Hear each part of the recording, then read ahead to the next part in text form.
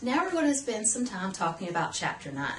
And if you've been looking through your textbook, Chapter 9 deals with parenteral medications. And those are basically medications that are injected to your body uh, by various routes.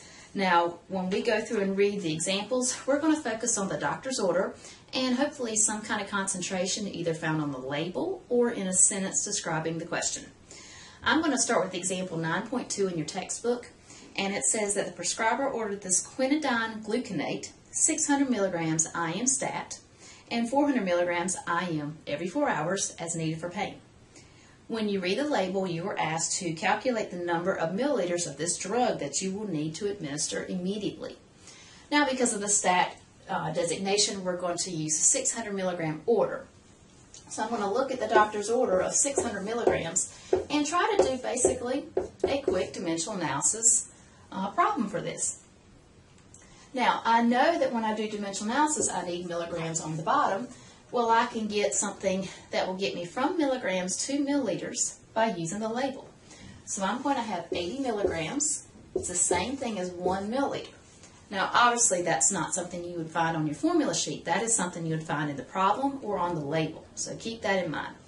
So I've got this dimensional analysis set up, multiplying straight across, 600 times 1, 1 times 80. I'll use my calculator to divide, and I happen to know that the answer is 7.5, and we're looking at milliliters. So basically, I take the doctor's order, use the concentration with it, and create dimensional analysis problem. Well, let's try one more. Look at example 9.3. You have another kind of medicine that the prescriber has ordered. This time, the prescriber has ordered 7 milligrams.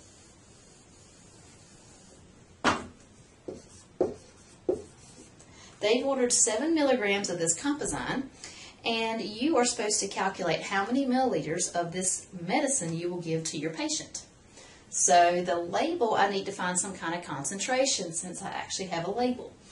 I have a concentration of 5 milligrams per milliliter. Well, if I use 5 milligrams per milliliter, I can set up a quick dimensional analysis problem.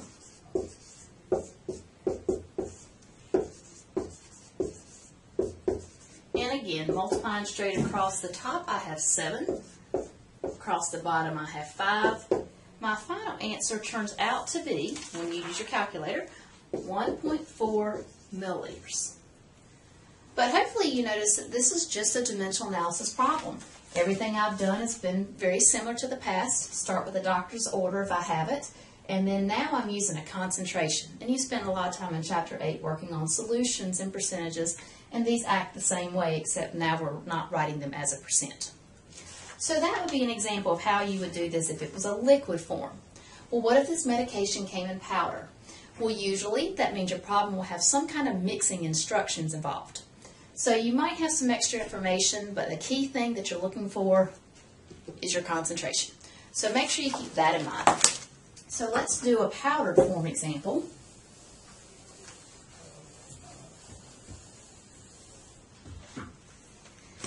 And I'm going to look at example 9.9 in your textbook.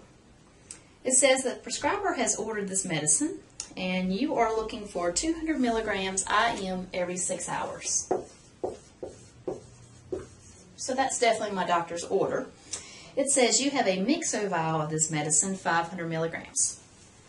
Now the directions on the label state each 4 milliliters when mixed contains this medicine equivalent to 500 milligrams of the medicine or in parentheses 125 milligrams per milliliter.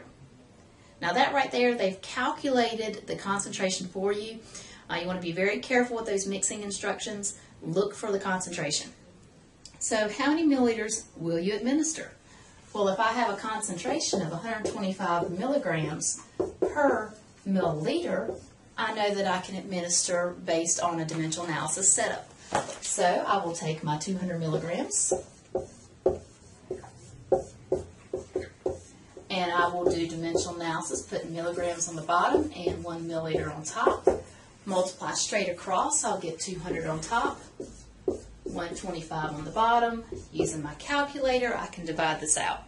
I will end up with 1.6 milliliters that need to be administered to my patient. So whether it's in liquid or powder form, the key thing is to find your order and to find your concentration. Now what about a heparin example? The last part of this chapter that you need to spend a few minutes working on would be some heparin examples. Now the biggest thing you'll notice about the examples is that a lot of times you see units. But just like before, treat it like a dimensional analysis problem and you'll put units on top and units on the bottom and they'll cancel out. So for example, uh, 9.10 says the prescriber ordered heparin, 2,000 units subcutaneously every 12 hours. So I've got an order of 2,000 units.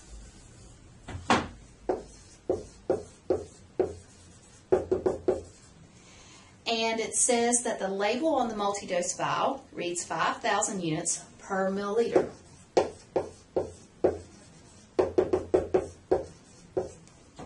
And you're going to be asked how many milliliters should you administer to your patient.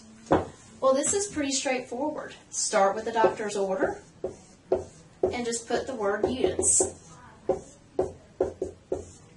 And then use the concentration. 5,000 units in 1 milliliter. Multiplying straight across 2,000 over 5,000 and then you can divide on your calculator if you need to. You would need 4 tenths of a milliliter. But basically, you're treating it the exact same way. There's not much difference between the two examples. The only difference is, is if sometimes you have information about your patient. Remember, if you ever have information about your patient, you want to use that first and then pull in the doctor's order.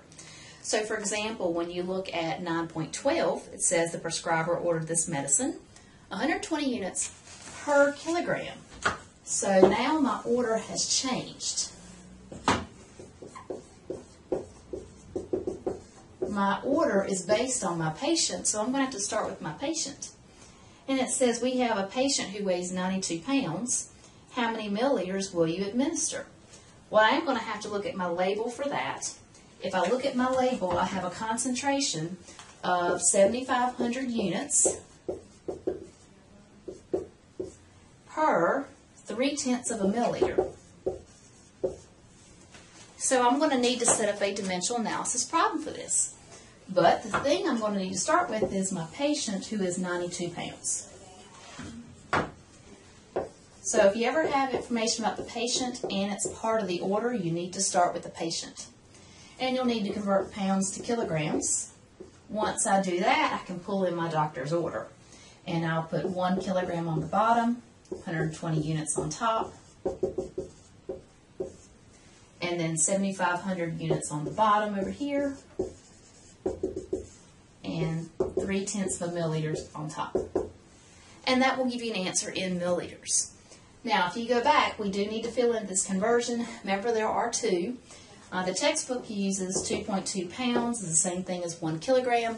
So you kind of decide which one you prefer to use. You'll get a close answer when you do the multiplication straight across. Divide by all the numbers across the bottom. You end up with approximately 2 tenths of a milliliter. Okay? But the example is very similar, but if you ever have the patient, make sure you start with the patient first. And then go ahead and use the doctor's order and then the concentration. Okay? So let me know if you have any questions on Chapter 9.